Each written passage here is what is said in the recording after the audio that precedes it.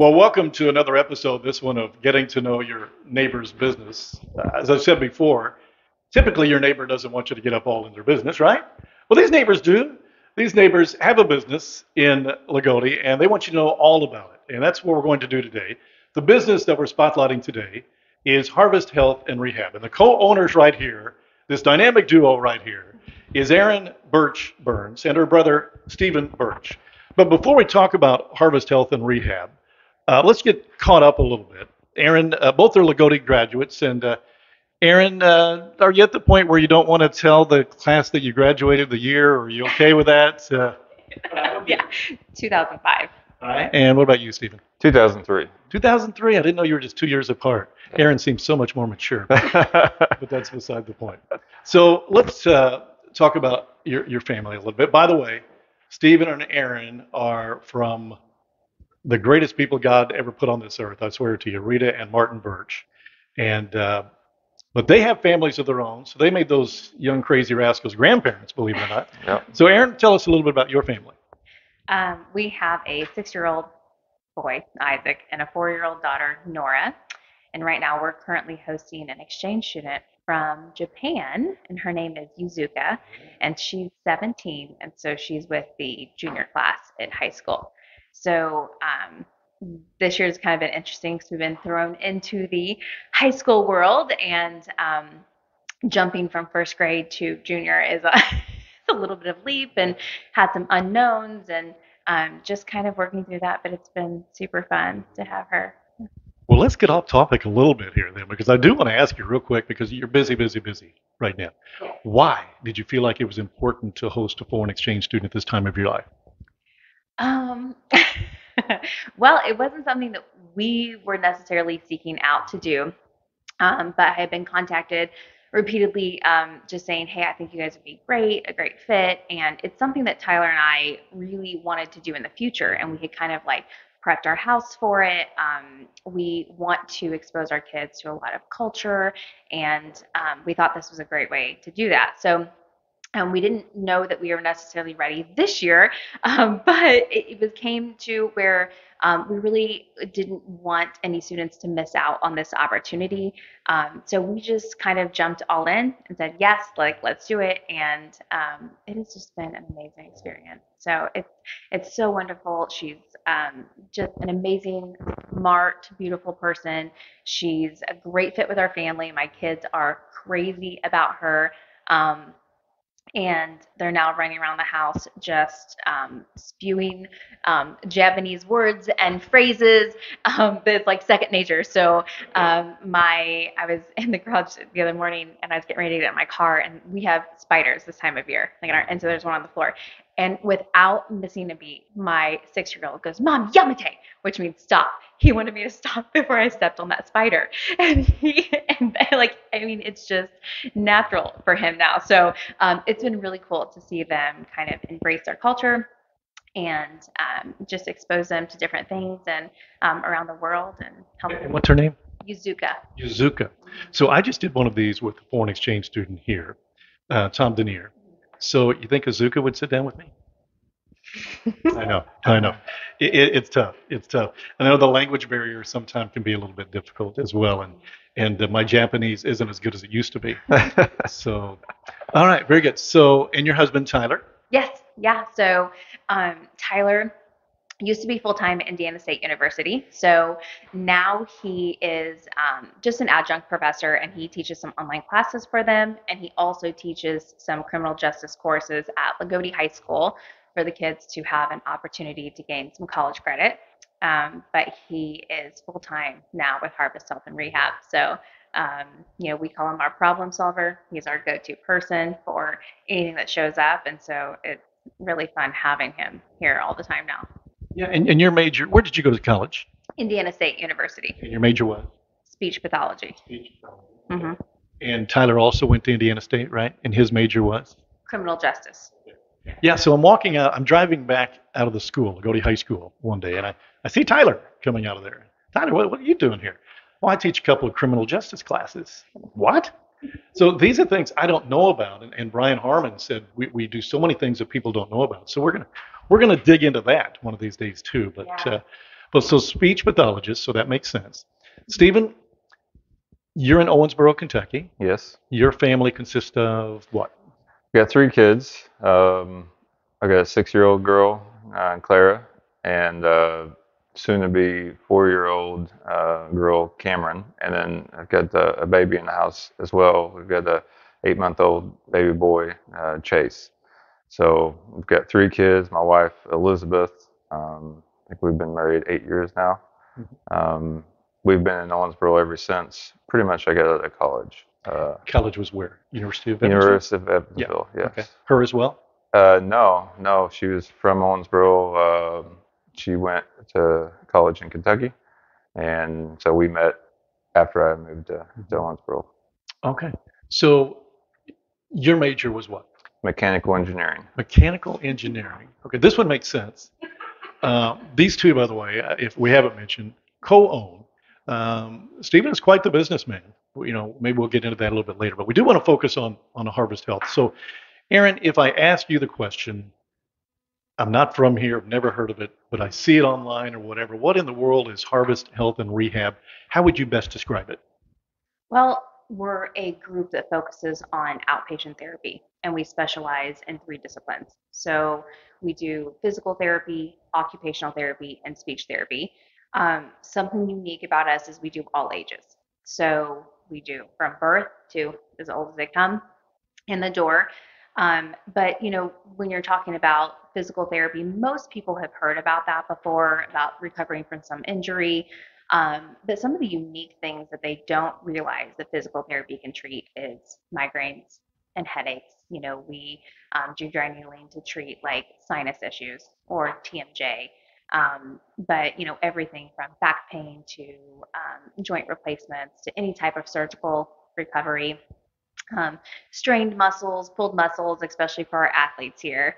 Um, and then for speech therapy, you know, a lot of people um, naturally say when I'm at, oh, I'm a speech therapist, oh, you, you teach people how to talk. I'm like, well, not exactly. So, um, you know, we work a lot with infant, like feeding and swallowing. So, any kids who come home from the hospital who are on trachs or come home with feeding tubes, we work on that. Um, obviously, speech and language development, um, stuttering. But for our older population, um, you know, we work on cognitive recovery from stroke. Um, we've actually had a lot of cognitive um, recoveries from COVID lately, like people having um, some impairments following that after they've been diagnosed. Um, traumatic brain injuries. We've had some young workman's comp in there, cognitive issues um, following some work injuries, like falling and concussions. Um, but we do voice therapy for Parkinson's, um, swallowing, you know, following strokes, anything like that. Um, and then as far as occupational therapy, because we treat all ages, it is kind of like a wide range of things. But for our younger kids, we're looking at um, like fine motor development, um, you know, any sensory issues they have, emotional regulation, um, handwriting. And then when you get older, um, basically anything from like the shoulder down. So, any like tennis elbow, any um, surgeries that you have on your hand or fingers or wrist, um, elbow, they help you recover from. And then they focus on um, like activities of daily living. So, can you shower yourself? You know, can you toilet yourself? Can you dress yourself? Do you have enough range of motion and strength to be able to do those? You know, to go home, to be safe. Um, so we do a lot in our clinic, um, but you know, it's only three specialties, but within those three is just such a wide range of um, things that we can treat and help people with. Yeah, that's amazing. What's more amazing is that that is in our hometown. I mean, I mean whoever thought that something like this, and I want to get into that because that had to be a, a major consideration when you when you talked about opening the business. Will this go in Loogootee? But before we do that, I do want to ask. So, what areas do you reach out to? Because there's not a lot of these facilities in the immediate area. So, what areas do you see people coming in from for help? Um, mostly our surrounding counties. So we have um, two locations, so one in Loogootee and one in Bedford. So for Loogootee, you know, we're seeing people come from Shoals, Montgomery, Odon, Washington, Jasper, um, primarily for Loogootee. And then for Bedford, it's um, sometimes Shoals, Bedford, um, Bloomington, and then just some of their surrounding counties as well. So the idea, the concept. Um, I'm sorry. Before you get to that, I wanted to get back to you again, Aaron, for a little bit. So after college, you graduated in uh, speech therapy. From there, what did you do? Because I know you weren't in Loogootee immediately. No. So I spent a few years in a skilled nursing facility, and then I also um, did a few years doing home health services, where I worked primarily with geriatrics, but driving all around Indianapolis and covering the surrounding areas. So going into people's homes, going into assisted living. Um, and that, that's what I did until I moved back. Okay. So, what was there a burning desire to get back here, or was it just an opportunity? Um, yeah. So we had this idea going, um, uh, you know, about Stephen had kind of heard me complain, hey, I absolutely love what I'm doing. Um, but if I had my own company, I'd be doing some things differently. Um, and I think for me, some of those final straws is, you know, when you're asked to do some unethical things or think, you know, it's got to be better than this. This is not how healthcare should be. And so um, that's kind of one of the things that started us thinking about well if we had this how would we do it right and how would we make this better for our patients and um, so that's kind of what got the ball rolling So, so the ball rolling because Stephen heard you complaining a little bit, and, and Stephen that. kind of take it, take take it from there. So you heard that, and your your thoughts were to Aaron. What? Well, I had just finished up getting my uh, master's in business administration and was looking to, to start some sort of business and didn't know exactly what. And uh, we, she, she was also getting several awards around the Indianapolis area for her services because uh, she was so good at what she'd done. And I thought, you know, around rural areas, you really don't have the access to this type of healthcare. And we really wanted to focus on our hometown first and foremost and thought it would be a potential opportunity to to build something, you know, to, to provide a good service to the community. Okay. So so that's that's kind of the conception of the idea, but a, a lot of things had to happen b- before it became uh, in effect. So um, talk about that a little bit. How how did you put that dream, that thought into reality? The first first several steps where you thought, yeah, we can do this. Well, we spent about two years really. Um, we first thought about it. Actually, we were at uh, Aaron and Tyler's house for Tyler's birthday in August of 2014, I think it was. And uh, a lot of his friends are in business type fields, marketing, sales, business type stuff. And um, that's when I first floated the idea that we should do this.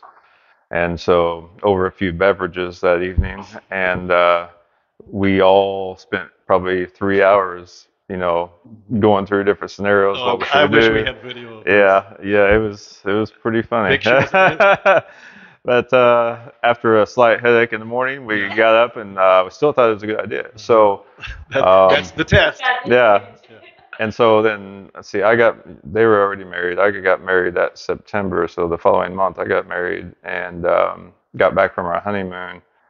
And I told my new wife that I was going to quit my job. I was a maintenance manager at uh, a utility company for a power plant. Okay, water you, you told her, you didn't ask her. Well, It was a mutual. Yeah. It was a mutual decision. she uh, she was very supportive. Um, And, and I'm sorry, you were what position were you maintenance manager? Where? at uh, Owensboro Municipal Utilities. Okay, Yeah. So I had been there for I don't know eight years probably at Okay. the time. tough decision. Yeah. Yeah.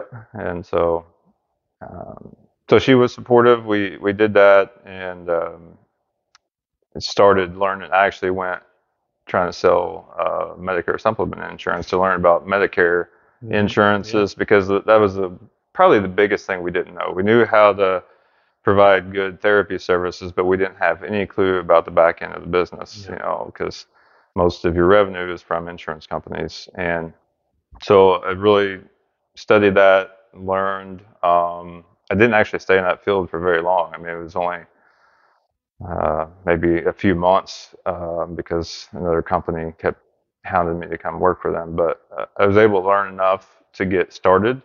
And uh, we spent basically the next two years developing the plan, how we were going to do things. Um, not saying it was perfect. It wasn't by any So, means. so in those two years, you were employed by who? Um, uh, I ended up going to work for Century Aluminum, which I currently actually still work for. Okay, so, so you were, you were working, so you had this idea, and Yeah. you were working it while you were employed. Yeah, I was basically trying to, mm-hmm. you know, we didn't want to go into debt at the mm-hmm. time, and Right. so I was raising the funds to to basically support it. She was basically, you know, trying to to save up enough to move mm-hmm. back to to take a, a you know, yeah, and You- definitely you- not you very were, you much. mean? Yeah. Okay. So I mean that's that's a lot. Like when you you think about doing this, it's like okay, well we're gonna, uh, you know, I'm gonna move back and we're gonna hit the ground running, but understanding you're probably not gonna get a paycheck for a year.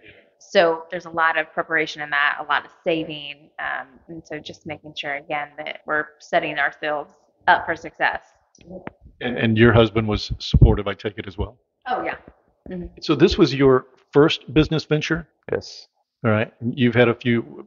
You you you own and run the um, car wash here in Yes. Loogootee now. Uh, what other businesses are you do you have an interest in? Um, right now we have I have uh, also three operating car washes in, in Owensboro that I'm partnering in. Okay. And then um, Busy got guy. a new one under construction that should be opening in January. when you're growing and you're growing for Yeah. sure. So all right, so the concept uh, becomes reality. You're saying this is it. it. It's going to happen. It's going to happen in Loogootee. What challenges did you have from there to get it up and started? Um, I think just you know, in in this area, um, especially to start when nobody knows about you, most of your referrals are coming from physicians, right? So um, basically, I'm looking up all the doctors and all the specialties and um, begging them to see me for lunch, right? And I'm I'm a nobody. They've never heard of me. They're like, we are too busy for you. I'm like, please let me in, you know. So um, Jonathan Kropp, I think, always tells the story about he said, You came in and you were so timid, you were so nervous, like, please send me some patients. Mhm. I promise we'll take really good care of them, you know. So at the time, you know, we had a staff of three, you know. I was the front office person, I was the back office person, I was the speech therapist, and then we had an OT and a PT. So there were three of us. Um, and so, really, just the challenge was getting our name out, right? And just having patients to come through that door to have that experience because I know once they get there, I can control the experience they have and they're going to love it. But just, you know, getting that that revenue, that um, kind of volume to start happening was the challenge right off the bat.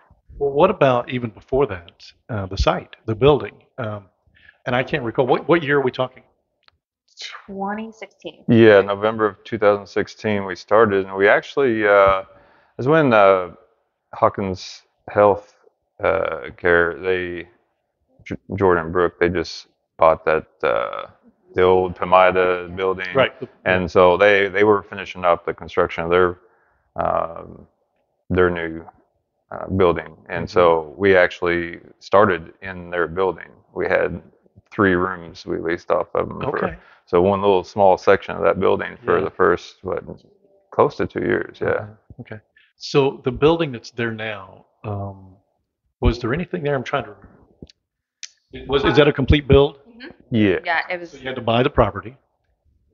Okay. So, okay. We don't we don't need to get into the Yeah, ins and outs. no, I'm, we, I'm sure we that actually itself uh, at that at that time we actually uh, Stuart Blake helped support us. He owned the property, he did. and um, uh, Was it he a- had tore down a couple of houses, or That's the right. house and the pole barn or Yep. something. I Yep. can't remember. It was a Yep, I remember lots. exactly. I remember exactly. So um, we uh, we went to him and said, "Hey, we want this lot," and knew he had several other properties, and asked Mhm. him just because we were still a young company, um, asked him to, to build it. We would lease it off from him and buy him later. So we, we since have, have bought the building, but okay. um, we yeah, that's how it got started. So we did that in what, 2018. So, Aaron, what about Stephen had talked about um, trying to learn the back office and the insurance in particular, which is in- incredibly, yeah. So, how did you get by that beast? How did you learn that? Or, yeah, just tell me that story. Well, I'm not sure if you know this, but insurance companies are not incredibly helpful.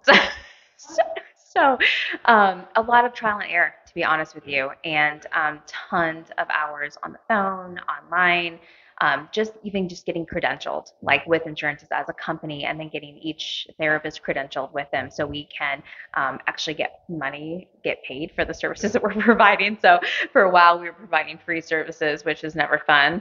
Um, but it was it was a learning experience. Um, it's something I can do in my sleep now.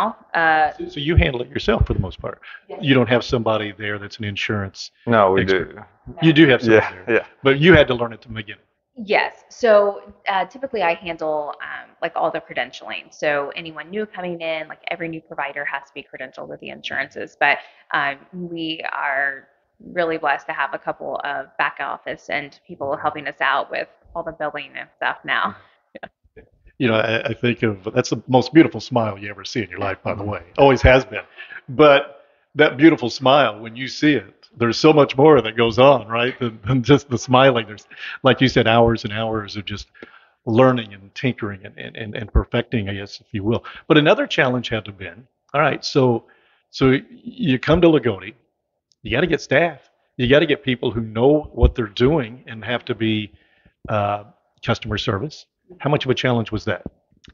Um, it's not so much of a challenge now that um, you know we are um, steady and consistent, but in the beginning, it's really hard. One, just to find specialized therapists. You know, having a physical therapist or an OT or a SLP, it's a very specialized degree, um, and there's not that large of a pool in this area to choose from. But also, when you do find somebody, when you're brand new like that, and you're trying to convince them to leave a steady job, right? And they're like, we don't know if you guys are going to make it. You know, I think that was the biggest concern is just getting people to jump on board and um, believe in our dream and and just be ready to ride that ride. But um, even when you find someone who's like, yes, like I totally want to do this, you know, think about if you went to your spouse and you know you guys are young, you have a new a new family, and you're trying to tell her you want to quit your steady job with guaranteed income, right? And you're going to go work for someone who's been open for two months, right? And you don't know if they're going to make it or if they're going to be closing their doors in six months. So that was the biggest challenge is getting is getting people to um, believe and take that risk, and that's really what it was. It was a big risk, um, but for but it paid off for them. You know, and I, and I would assume that even now, even after what six years, you're at the point where you have people graduating high school that know what they want to do, in hopes of maybe coming to a place like yours, Absolutely. which is a lot different than six years ago. Yeah, we've actually, I mean, because it's so hard to find therapists in this area, we, we've reached out to basically all the regional um, universities that offer the degrees, and, and we, um, we house their students, and then we also are partnering with the, the local schools to do internships with students that have some interest in, in therapy going forward. So it's really a long-term play um, to try to get more people interested in the field because it's definitely a need in the area. Um, currently, we have a couple of therapists that are driving an hour to our site because Yeah, there's just not. Yeah, exa- exactly. Yeah. And it's not ideal for them either, but uh, you know they like it. They like the. They like us. They like the the job, and so they're willing to do that at least for now. So. So was there a point, I know there was, where you wondered if you did the right thing? If if if you said, "What did I get myself into?" And even even from co-owner co-owner of the business, what you had invested, was there a point when you wondered if this was going to work? Did I do the right thing? No. Never. Mm. Neither one of you. No. That's great. That's great. It took us about three years really to to fully understand the business and learn how to be efficient. Um, but during that time, we were still we were able to make it. We had planned accordingly. Um, you know, didn't have to go and try to borrow any money to do it. So uh, there was never a point financially where we had to do it because we were always willing to put more money into it if we needed to because we thought it could definitely be something down the line. Yeah. Yeah. Aaron, from the business standpoint, um, how would you describe your business skills? Are you obviously it's grown because because you're you've grown in that regard, but Uh, do you do much in regards to the business side of it, the finance side of it? Yes. Yeah. So I handle um, all of our accounting. So um, basically, I do all the outgoing billing. So all the outgoing claims um, I handle, and I handle the credentialing, um, and then I also help them input. You know, once we hear back from the claims, like money and stuff. So um, I help train my team and guide them, knowing like what codes to bill, what's reimbursable. Um, you know, just kind of coach them to um, maximize like their time with their patients. Um, and then I do all of our monthly like um, reconcil- reconciliation and um, all that kind of stuff. So yeah. So, so when you went to school to be a speech therapist, they taught you to be a speech therapist as best as you can, but they didn't teach you accounting skills. They didn't teach you managerial skills, right? No, no, they did not. So um, it's definitely something that you learn on the job. Um, I've always liked numbers. I've always liked math. Um, I enjoy that part of it because you, to be successful, you have to understand every single part of the therapy, um, well, every single part of the business. And I think that um, it helps me lead my team better. It helps me understand a full picture of what we're doing um, and of where we're going. And when I keep all of those like records up to date, Stephen does all of our long term like projections and planning. And then, you know, as long as I'm keeping my data correct, like he can use that to do um, all the stuff that he needs to do for us. So a good manager will preach uh, work balance, right? Work life balance. Um, how do you feel like your work life balance is? is, is, it, is it getting better? Do you feel comfortable with it, or will you ever feel comfortable with it in this field? Um, so I think that we are both naturally workaholics. Uh, I think that we get that naturally if you know our parents at all. Yep. Um, and that feels good to me. You know, a lot. I don't think there's a lot of people who could do what we do and put in the hours that we put in. Um, but you learn how to balance that. And like I said, we've got young kids, and um, you try to make that a priority and try to make sure you're being present in in all of the the you know the big stuff and and just the little everyday life stuff. Um, but we both push 70 hours, 80 Probably. hours Yeah. a week um, doing that, and um, you know, it's balanced for me, and a lot of other people don't understand that, and that's okay. It it works for me, and it works for our family. Um, I think you know, Stephen and I were laughing this morning. He was like, "Remember when you showed up to work three days after you had your second baby?" Yeah. One of our therapists was like, "I don't think you should be here," and I was like, "You just you just go back to work. Don't worry about it. It all worked out, right? Yeah. Yeah. You know, Stephen was uh, his wife was having their their latest child, and he was doing some billing in the In the hospital. hospital. Yeah. hospital room. For I mean, you just learn to Wait, maybe. wait, wait a minute. Wait a minute. She was she was having her baby. well, not during Yeah, the process. I just want to clear that I up. did wait till I- afterwards. I mean, I mean, I mean, workaholics are one thing. but They can get a little bit ridiculous. Now. Well, it's it's funny when I when I told Lynn, my wife, that uh, I I was going to interview you too. She laughed, and the only question she could think of, uh, well, the, the, she said, "Hey, you need to ask them where they got their work ethic from." no. And for we just sure. laughed because Martin and Rita, yeah, you know, they put a few hours in in, For their sure. life as well. We And, and you know what? I know they're there for support, and, and, and your spouses are there for support as well. But, but they put in hours too, so so it's just tough to make it work. But but it sounds like you both are comfortable in doing that, right? Yep. That, that's that, that's terrific. All right, so I was just out at your place, Harvest Health and Rehab, there, and uh, I mean you've got construction going on on the inside, but the outside already looks great. So what in the world are you doing in regards to growing that particular building here in Loogootee? Well, we we're adding on, so we're basically in the process of doubling the size of our, our gym and adding a couple more treatment rooms. Um, we're consistently basically running out of space currently, and wanted to make sure that we um, were able to grow um, and not hinder us because of the facility. Um, and we already invested there. Everybody knows where we're at, and we think that this is, you know, going to be sufficient, you know, long term for for what our needs will be here in Loogootee. So it sounded like just by you telling me this that, that, that you considered maybe another site that, that you might have to go that way, but you felt like you could make this work. Yeah, yeah, we did. We had, you know, invested enough in the facility that, you know, probably not going to, it's, it's hard to find people to come in and take that as well. And so we, we were looking, but uh, we decided, I think it was best to stay there. And we, we figured out, you know, with the architects that we could make it work. And so, you know, we had been actually planning this for more than a year now, but just the it takes a while to get started. Once we got started, you know, it's going pretty quick. But we should be in there probably end of November, early December right now. I mean, all we've got left is paint and uh, flooring, ceiling, lights, pretty much. Okay. Especially for Thanksgiving. Especially Yeah. for Thanksgiving. Yeah. month away. All right. Um, but aside from Loogootee, at, at some point you said, "Hey, th- this is working. This is working. And in fact, it's working so well that we need to service another area." And you did that. Um, it's one of those things we have learned. We learned really on that if you don't have the right people in your place, it's not going to work. So um, we kind of let God do the work in that aspect, and that we let you know who falls in our lap.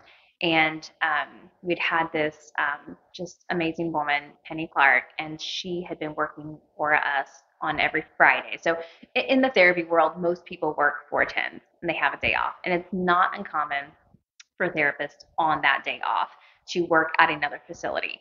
Um, and she had been working with us um, one day a week for what year, year and a half, Yeah. Something. Um, and and she just when you when you meet this person, like she has it. You know, she's got that spark. She is an incredible therapist, um, really well known in the Bedford community. And um, we were talking um, after some beverages. There's no trend. um, Work-life balance on occasion, right? right? And she said, if you build me a building, they will come. And she said, please build me something in Bedford. And so, um, I mean, really, Stephen and I talked, and we thought, you know what, we could we could really do this. Like, we could really make this work. And so, um, what a month, two months later, like we started started making plans to see, like, okay, what can we do? Where can we put this? Like, you know, what would this look like there? Um, and we ended up renting a space there as well for what a year? Seven or eight months while we were building. So we we had purchased ground to build, but didn't want to wait for the new building. So we went ahead and tried to get an established patient load. So maybe three or four blocks down the street, we rented a smaller space um, that happened to be open at the time. So we did that. in, I think uh, November of 2020. So kind of in the middle of COVID. Um, and then what July? I think July 4th weekend or something. Mhm. We moved into our new building in Okay. 2021 there. Yeah. So was the but did you feel like so this was this was Penny's idea, right? I mean, this this is hey, if you do it. But did you feel like, or did she feel like that Bedford was an underserved community in, in what you're doing? Yes. So there were some other um, options for therapy available in the community, um, not up to our standards, you know, and that's that is kind of the whole idea behind HHR is that um, we provide excellent health care for rural communities, right? And we want that individualized, we want that personalized care. Um, and so we saw, you know, the, the other options were like, you know, we would just do some things differently. And we feel like we could provide a different experience for our patients.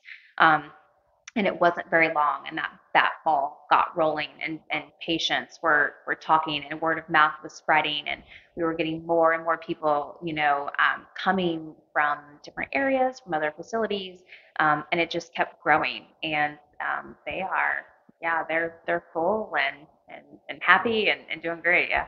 But again, you have to staff it and you have to get those people. So I would imagine the Bedford community, you've got Bedford, Bloomington, others to choose from, maybe a little bit easier to staff. It is a little bit easier, um, and because Penny is, um, she's not originally from there, but has lived there for a long time and and knew some therapists and said, hey, listen, like I think they would be a really good fit for us, right? I think that um, they they would work out really well. So she already kind of had some ideas about who she would bring on board with her.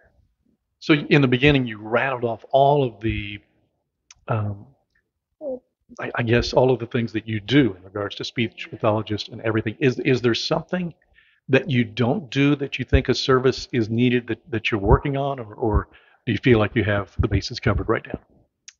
Um, I think probably the biggest thing um, that a lot of our patients have just mentioned to us is the for the like over 50 crowd. Um, I know up in Indy they had some over 50 gyms where somebody would take their vitals um, show them some like how to use some equipment in a gym, and they would monitor their vitals like while they worked out. Um, if anything got off, they would contact their physician. Um, they had like a CNA in there to do that, and I think that would be such a cool idea for um, some communities to do. Is you know they don't want to go to a gym where people are um, you know, benching 200 pounds and, and grunting. You know, they want to go to a place where they feel comfortable around people their age, where there would be someone to help explain like how to use equipment, um, to help monitor if they're like, I'm feeling kind of dizzy after I did that. Um, so I think, you know, that that's some feedback that we get from some of our older patients that they wish that they had a place to go to work out um, where they felt more comfortable and to stay fit and healthy, especially in the winter months when they can't get outside to walk. Yeah, well, you're talking to me. I tell you, that, that sounds good. You open up a place like that. and I'm in. Uh, but, yeah, yeah, for number one. But but it does lead me to a question um, because I came to Harvest Health, uh, shoulder problem, but um, I- I'm trying to remember. Do do you need a referral when you come to you, or can you just come in and say, hey, here's my problem? I'm sure you can guide for them from there. But do does everybody need a referral at this point? No, um, which is kind of cool. So for OT and PT, for most commercial insurances, you don't need a referral and you can come get services for 42 calendar days. If it goes past that, then you would need it. Um, for the federally funded insurances, like your Medicare or your Medicaid, they are still requiring a physician order. So if somebody did come in and uh, and, and had a, a problem like I had or what have you, and just walked in Mhm. and said, "Hey, can you help me? Do I need to go anywhere else?" Your answer is yes. Yeah, let's get you scheduled. Yeah, let's get you on the books. All right. So what's what's next? What's on the horizon next? You you just talked about a thought that you'd like to have, right? Oh, You that's know. really me. Just, Okay. Just maybe a need in the community. yeah. But you know, the the idea of growing to Bedford came from somebody saying, "Please do this. I can do it. We need it." Uh, are you open to expanding to other communities? Yeah, we're we're looking at that now. I mean, it's it's got to be the right fit. I think you know, make sure we find the right uh, right therapist, and you know, whether we look at you know growing it organically in a place that doesn't have those services now, or potentially acquiring a, another business that, that does the same thing that we do. That we're looking at that. You know, we're not we don't have anything on the books right now, but uh, you know, definitely open minded to it. You know, one of the questions I had was the, the challenges of opening a business in a small community, but it sounds like that's sort of an advantage to you, right? Because it may be more underserved. Yes, actually, that's what I talk about all the time. Uh, the challenge is you have to be excellent at what you do because you have to maintain a high market share percentage of the people that need your services, and you have to get you know get the word out to everybody. But uh, if you do that, you've got a built-in you know population that is going to need a certain percentage of those are going to need need uh, our care, and as long as we do a good job, we'll be able to do that. Um, you know, it was just tough early on getting started out, but a- a- after a few years, we were able to, you know, set the foundation, and I think we've got a playbook now that is is repeatable in, in other areas. And, and, and Aaron, the, go ahead. Well, I, and I think the challenge too, like, you know, we're not talking about opening a coffee shop. We're not talking about opening a restaurant or a clothing store where people want to go, right? When people go to those types of places, it's for pleasure. You're right. Nobody wants to go to a rehabilitation, Nobody wants to go there, right? Nobody was like, but they're glad they did. yeah, I mean, nobody is like, oh yes, like I've just been waiting to tear my rotator cuff, you know, like I've been waiting, like I'm so glad I got this knee replaced. Like, no parent is like, I've always wanted a nonverbal kid, you know. It's just, it's different. Nobody wants to be there, and I tell my team that all the time. I said, listen, when you get someone who comes in fresh knee replacement, you know, uh, an elderly man, I said they're coming in, and yeah, they're going to be grouchy because they are hurting and pain meds, let's just be honest, they make you constipated. So they're not feeling great. I'm like, and they're mad because they can't, they're not independent anymore. And they're having to depend on their spouse way more than they want to. And they're just mad because they didn't think it would hurt this bad and they didn't think it would be this hard, right? I'm like, and we are there for their entire journey. I'm like, nobody wants to go to therapy, but my goal is when they come into our place, like I want to be like the Disney world of therapy. You know, if you have to go somewhere, I want us to be your pick. Um, you know, so so many of our patients what they're going through, it, it's so much more than just, um, you know, something physical that we're helping them. Like it's emotional, it's spiritual. You know, we get patients in there. Um, a lot of doctors have kind of started doing some what they call like pre-hab, and that's when you get therapy prior to a surgery especially if you're a little bit older. They, you know, the research is like if you are stronger going into a surgery, you you recover better, right? You get better results. Um, and we have so many people come in and they've they've never had surgery, right? They've never, and they are terrified. And it's like, you know, we get to reassure them. You know, we get to hug them. We get to pray with them. Um, on bad days, we'll cry with them. You know, we get to share the happy happy days, the happy tears when they're doing something like miraculous. And so um, I know you kind of mentioned like earlier, like the rewards.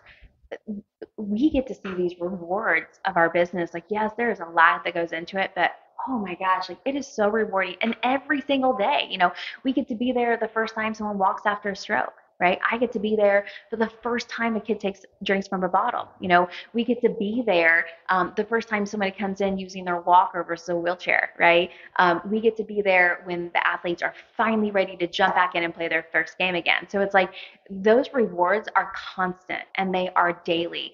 Um, sometimes it's in the clinic and sometimes it's not. You know, sometimes it's seeing somebody in the grocery store and they go, "Hey, Erin, look, I can I can reach this off the top now," you know, because they're recovering from a shoulder, and and it's like the the rewards are just um, tenfold what we put put into it, and I just don't think that you can really ask for anything more than that. The Disney World of therapy. I like that. It's an interesting is one. That, is, that a, is that a marketing? Is that a new slogan? and less expensive, by the way. for the most part. Uh, we don't want to be the expensive part, but yeah. and, and the good thing about this is, you know, when you go into Disney World, you feel great when you leave. Okay, but when you need go to like a your place, you don't feel great. But when you leave, You feel great, yeah. but no, I can't imagine th- those rewards. Not just for the individual being treated, but the families. You know, you had me tearing up there for a little bit. That's why I had to go into the Disney World thing because, because when you think about the the families and uh, you know, in my mind, I'm thinking, gosh, those grandchildren get to see their grandfather do this, play football with them again, or something like that, and uh, that's got to be so rewarding. Absolutely. Yeah. I mean, there are sometimes, you know, sometimes it's like somebody's like, oh, I took my back last week. They might be, and they're like three or four visits and out, right? They're done, graduate.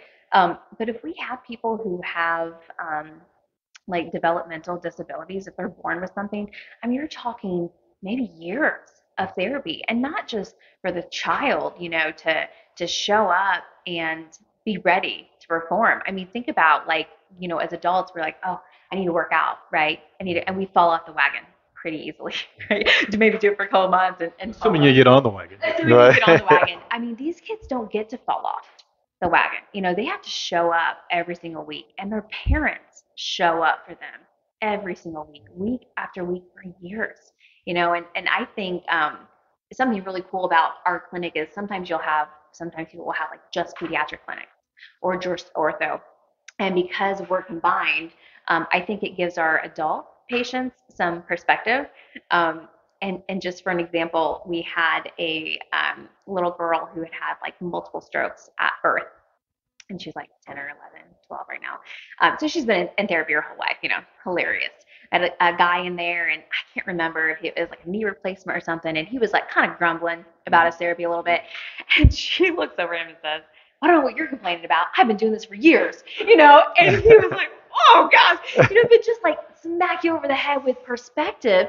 And it, you know, it, it's funny because he'll say like, um, I know you can't tell me who that is, but I want to be scheduled with her. you know, and, and so I think you know they see like how hard some of our kiddos and and what warriors they are, and so you know the bottom line is everyone's going through something hard.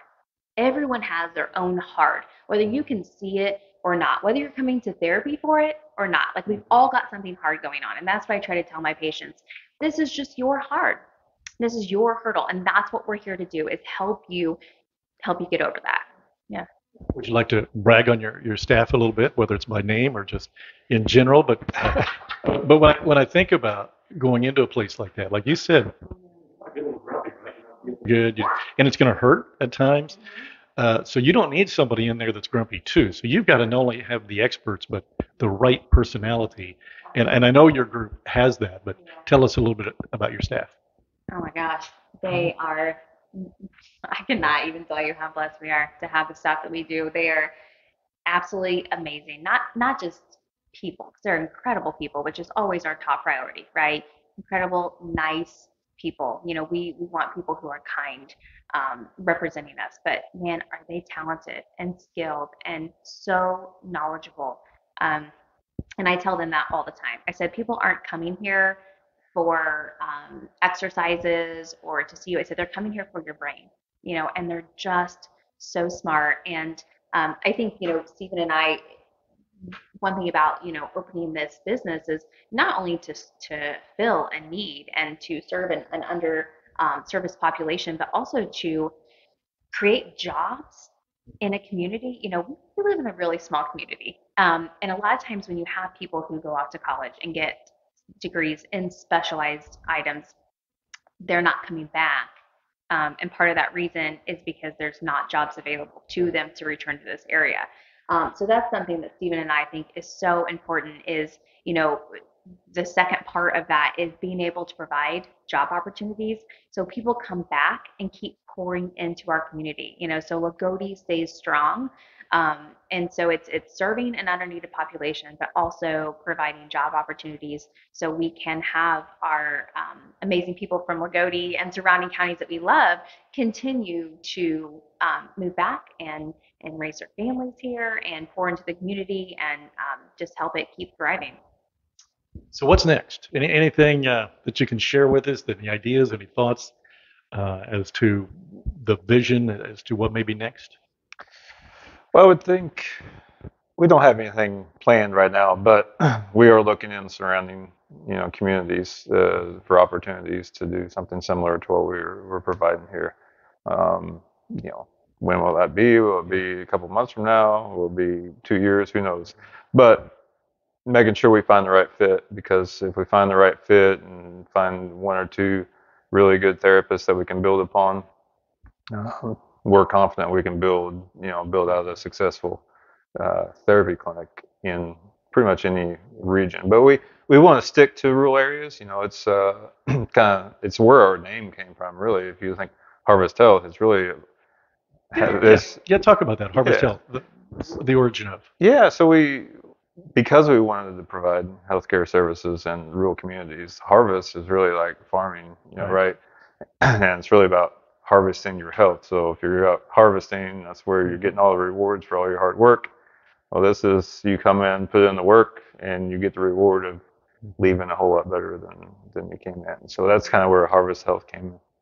So did you guys have like a roundtable discussion and on the board throw up all these names, or how, how did who, who came I was driving the truck, You were. uh, driving home from Yeah. work one day. We were talking, and uh, how'd that come up? Elizabeth came up. Yeah. Yeah, Elizabeth came up with that his name. wife. So yeah, she had said something about it because we were just throwing all kinds of names. Didn't have anything good really. we didn't want to say you know birch Nothing uh, birch therapy. First therapy. Yeah, what, what, I'm married. I yeah, exactly. And so, um, but it ended up uh, we liked the name and uh, it, it kind of stuck. It kind of fit with what we were trying to do. And didn't she name the car wash too? Didn't she come up with? Bullseye. I thought she did. No, No. He goes. No. I don't know. I can't after, remember. After a few, after a few Maybe. marriages. and, Yeah. uh, who knows, right? I mean, I can't remember. Uh, you don't have to give credit when credit is due if you don't know. yeah, I know, right? Yeah.